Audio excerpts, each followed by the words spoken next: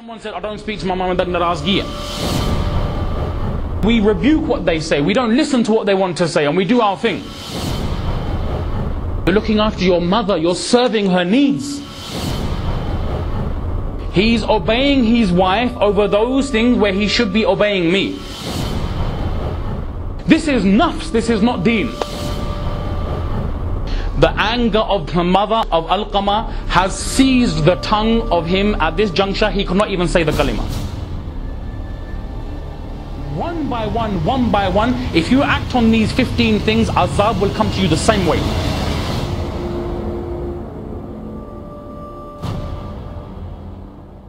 My respected brothers and elders, young friends. Assalamu alaikum wa rahmatullahi wa barakatuh. First and foremost, we thank Allah subhanahu wa ta'ala that He has given us the ability to gather in the masjid in the house of Allah. Secondly, keeping in mind the the time of year which we're in, it, I suppose it would have been appropriate to talk about one of two things. The first thing I had in my mind was initially to talk about the whole aspect of Good Friday and what it is in the life of a Muslim. Because at this moment is a very particular holiday, also well known amongst the Christian circles as well, which they refer to as Good Friday. You have Easter Sunday.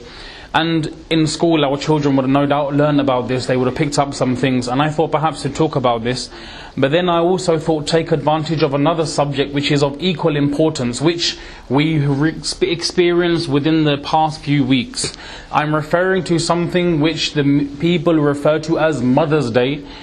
Or we also have even, in addition to that, the word Father's Day or the day Father's Day.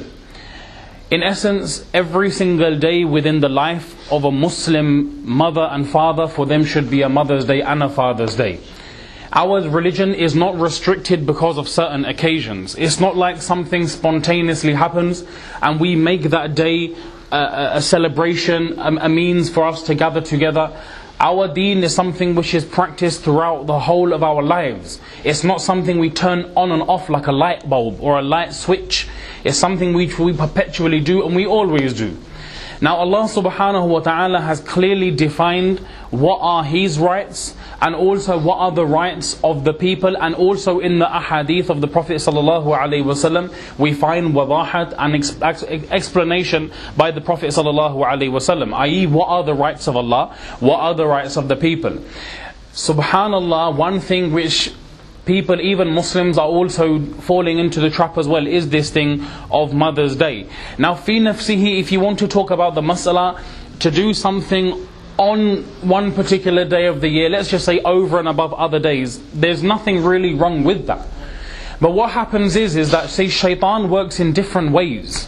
What will happen is, is that someone who is accustomed to doing khidmah, serving, looking after the parents, what will happen is they will then relegate or dismiss or perhaps even leave it to certain times and occasions of the year. So when you initially tell people, brother, this isn't really the correct stance of a Muslim, you should be serving your parents throughout the year, they say, well, what is the harm in such a thing? It starts off like that, and then what happens is every year you do something extra special on that day. Now what happens is, is that when, let's just for example say on one particular day of the month, it is Father's Day or Mother's Day, you have a gift you want to give and you withhold that and you say, no, no, no, I'll give it on Father's Day, I'll give it on Mother's Day now. You're starting to attach extra importance to it. Whereas that is not something which is Islamic. Again, I mentioned there's nothing wrong with uh, giving gifts to parents and so on. It's something which we've been encouraged. But to specify dates, times and so on, this is something where the Muslim has to think, hold on a second, is this part of the deen or is it not part of the deen? Allah subhanahu wa ta'ala mentions, وَقَضَى رَبُّكَ أَلَّا تَعْبُدُوا إِلَّا إِيَّاهُ وَبِالْوَالِدَيْنِ إِحْسَانًا Allah subhanahu wa ta'ala has ordained, made faisala and, and has decided, Allah has ordained what? Allah ta'budu illa iyyah. You will not worship no one other than Allah. First and foremost, if we, Allah forbid someone associates any partners with Allah, this is tantamount to shirk and the person will leave the fold of Islam. وَقَضَى رَبُّكَ أَلَّا تَعْبُدُ إِلَّا إِيَّاهُ وَبِالْوَالِدَيْنِ إِحْسَانًا And Allah has also ordained that we show kindness to our parents. إما يبلغن عندك الكبر أحدهما أو كلاهما فلا تقل لهما أف ولا تنهرهما وقل لهما قولا كريما What we have been instructed within our deen, Allahu Akbar, remember this, our deen, our religion taught us this. Our religion taught us this. The fact that how you treat your parents. If one of them or both of them attain old age, don't even say the word uff. Now those brothers who understand a little bit of Arabic, you know uff doesn't mean anything. It doesn't have any significance in terms of meaning. Balki Hafiz ibn Hajar al-Asqalani, al-Asqalani rahmatullahi alayh, he mentions the word uff has 70 different meanings. You, there's nothing you can pinpoint to say it means this. Mujahid rahmatullahi alayhi, who is a famous scholar of tafsir, do you know what he says? He says, if your parents attain old age and you have to serve them like they served you when you was a child, where they would wake up in the night, they would tend to your feces, they would tend to your nappies, they would tend to your rags and your clothes, they would wipe your bodies, and they would clean you of, of any filth, any excretion, despite them being tired, they would tend to your necessities. Despite them being in discomfort, they would, uh, they would, they would come to your comfort. Despite them being tired and run down and ill, they would still serve you at whatever cost. If you have to do this, فَلَا تَقُلْ لَهُمَا أُفْ Don't you even say the word uff or oh or what. Don't even have the audacity that if you are put in that same predicament, that you ever dare say something like that. Your whole life your parents were serving you, and for you to say something like this, وَلَا تَنْهَرْهُمَا Don't curse them, don't rebuke them, don't swear at them.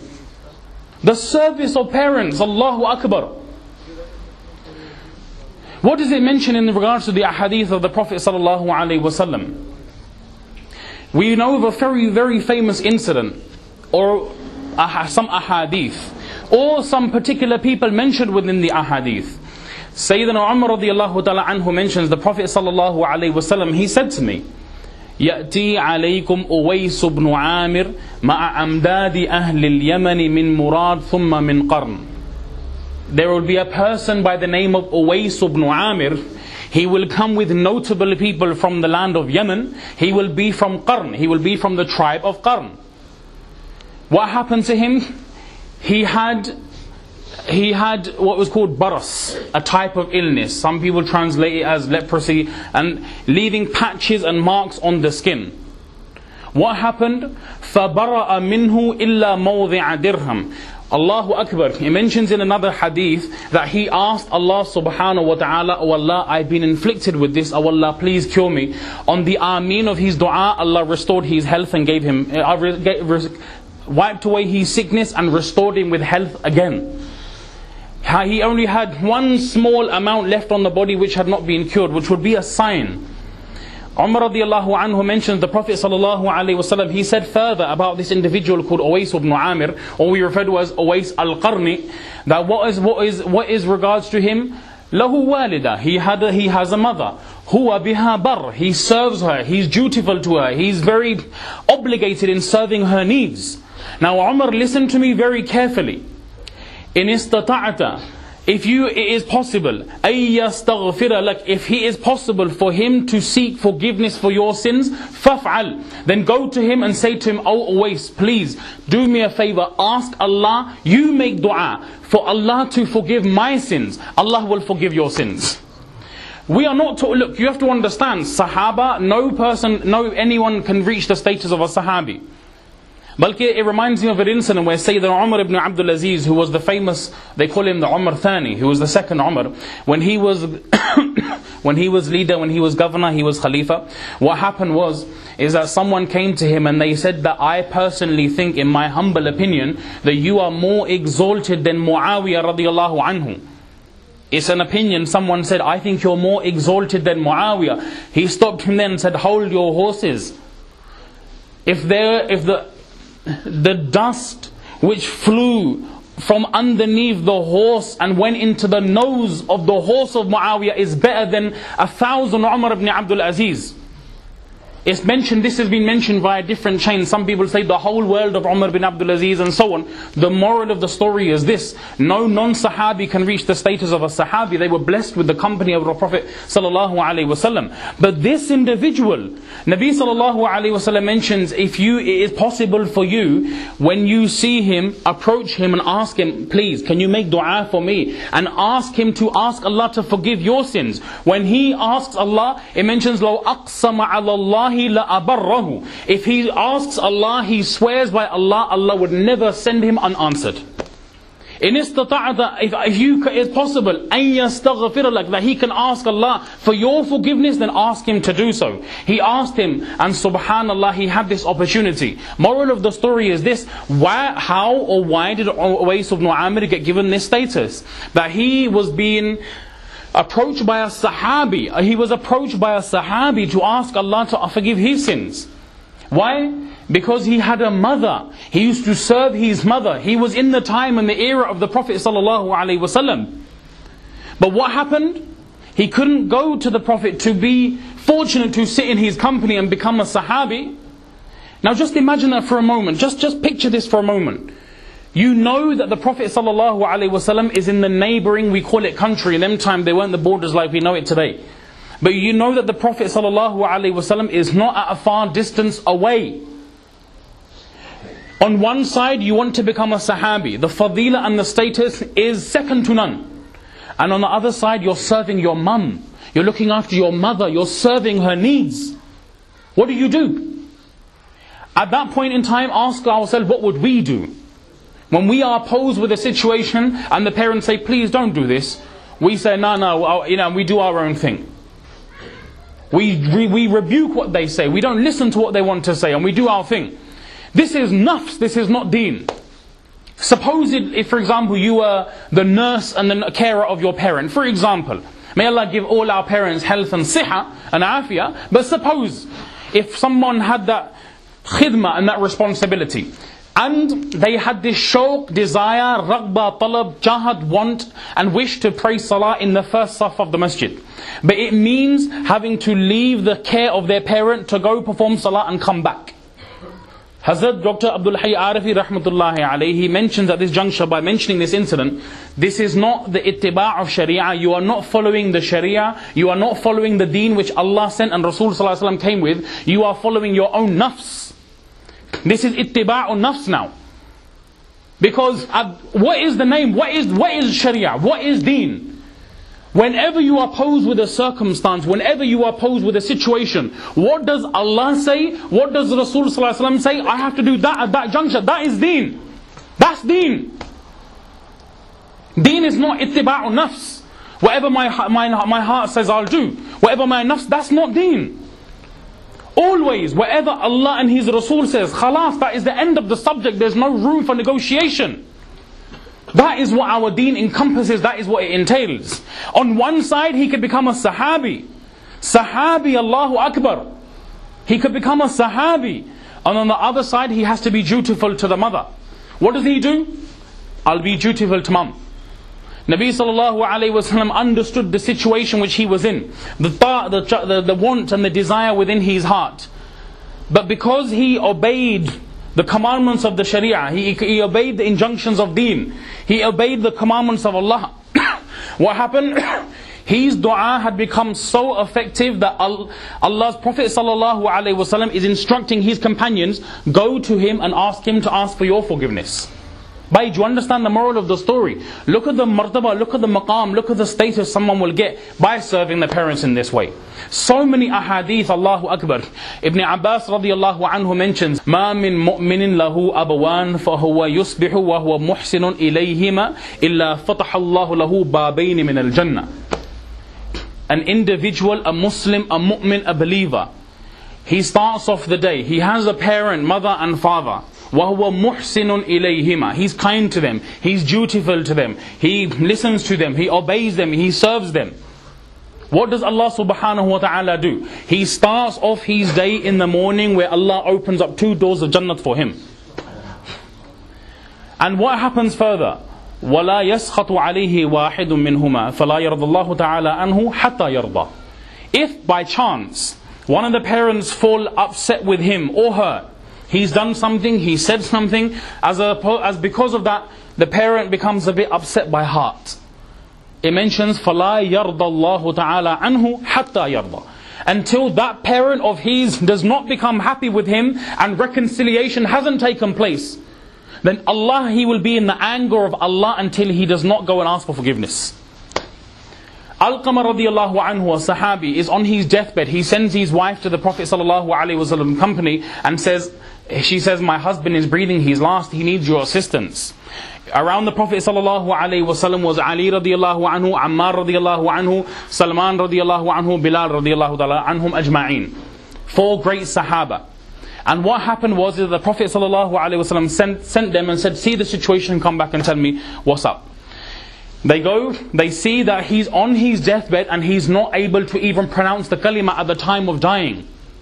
And it mentions in regard to him, Alqama, it mentions, it, it mentions that he was shadidul ijtihad. He was someone that used to exert himself beyond imaginable in, when it came to worshipping and obeying Allah. He used to do so much ibadah.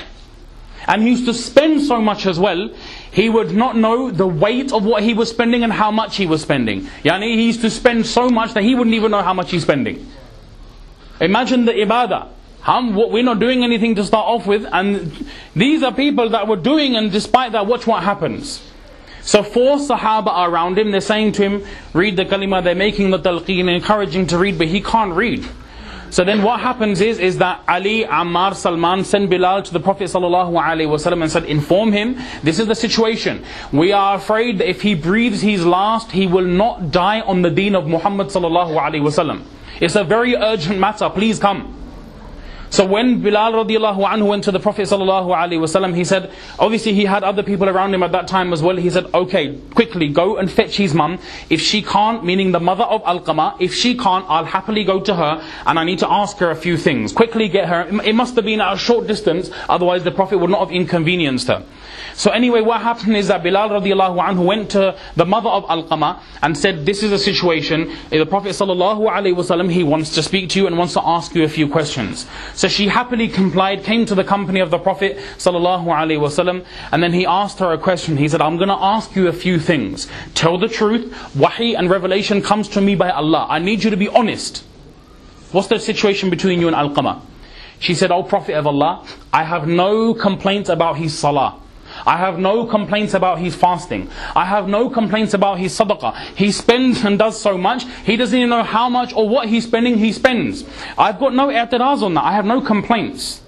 But there is one thing. He obeys his wife over those things where he should be obeying me. This just this. He's obeying his wife over those things where he should be obeying me. At this juncture, I will mention this. We have to understand the hukuk of each and every individual. We don't learn, Allahu Akbar, we don't learn. Why are our houses in turmoil? We don't know what is the juncture at that time. What does Allah say? How do we deal with domestic problems? How do we deal with husband and wife issues? How do we deal with son and father issues? We don't even educate ourselves. When, as they say, something hits the fan and we've got no solution left, Anji, let's ask Maulvi Sahab. Maulvi Sahab koi cheez daso. Tell us the situation. And then even more, some people oh, need taweez or get taweez. By Allahu Akbar. Let's not let the situation go that bad. By study your deen, study your religion. That is why we were given the name Muslim. I have no i'tiraz on his salah. I have no i'tiraz on his fasting. I have no complaints about his sadaqah. But yet he obeys his wife over those things where he should be obeying me. Meaning there are some huquq where you have to obey the mother over the wife. And also there are some things, there has to be some give and take. And this is one of the signs of the day of Qiyamah, Allahu Akbar. The Prophet ﷺ mentioned, there are 15 signs. If they come in my ummah, you will see problems and azab and fitna coming to this ummah in such a way, how you cut a pearl necklace. I'm using the word pearl, the word in them in the hadith mentioned necklace. And you see those beads drop, one by one, one by one, if you act on these 15 things, azab will come to you the same way. And what did he mention? أطاع الرجل زوجته وعق أمه أطاع الرجل زوجته وعق أمه A person will, he will disobey his mother, but he will obey his wife. What, and what will happen? وَأَدْنَى صَدِيقَهُ وَأَقْصَى أَبَاهُ When he see his friend, he'll say, MashaAllah, pakhair and welcome and khairiyat and kayfa hal and so on. And when he sees his father, change the way. Abba koi kam na aake, abba koi gal na aake. Let it not be that my father tells me to do something. So we treat friends with respect, push fathers, we, we obey the wife over the mother. Again, let me mention at this juncture, it doesn't mean we just blindly close the eyes because we have extremes within our culture as well. Whatever the daughter-in-law has, she has to do it. But zip, mouth closed, you obey some wata'a and you don't have nothing else to say on top of that. That's not deen. That's not Islam. It is your responsibility to serve the parents. It is not on her head. If Anyway, these are masail we will need to discuss at a later time. But these are things we have to approach our ulama. I'm discussing this hadith and I need to terminate on this hadith. So the mother of Alqama, when she's, you know, when she was making bayan about her son, she said, Oh Prophet of Allah, I've got no complaints about Alqama. His ibadah is second to none.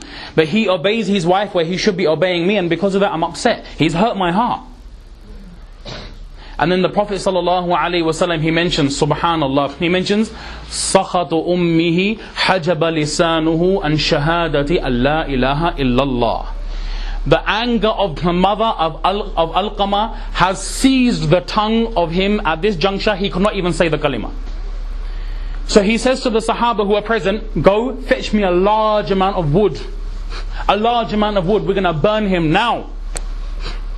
So then she says, O Prophet of Allah, Ibni وَثَمَرَةُ فُؤَادِي my, my heart, my soul, my beloved son, you want to burn him in front of my eyes? He said, well it's better for me to burn him now and for Allah to forgive him than for him to go into the akhirah where the, the fire is so intense. She says, she ponders for a bit and she says, O Prophet of Allah, I have overlooked all the bad which he has done. I have forgiven him today for the sake of Allah. I am happy with him now. The Prophet ﷺ said to Bilal, now go and see. Qasam by Allah, when he was walking towards the house, he heard him say, La ilaha illallah, La ilaha illallah, La ilaha illallah. He came back and gave the testimony to the Prophet ﷺ that Alhamdulillah, his safety has been guaranteed. He has uttered his kalima. His maut came on the utterance of the shahada. The Prophet ﷺ then gathered the Sahaba and said, Let me tell you something and listen carefully. Those of you that affect your parents, you harm your parents, you offend your parents, may the curse of Allah be on such an individual.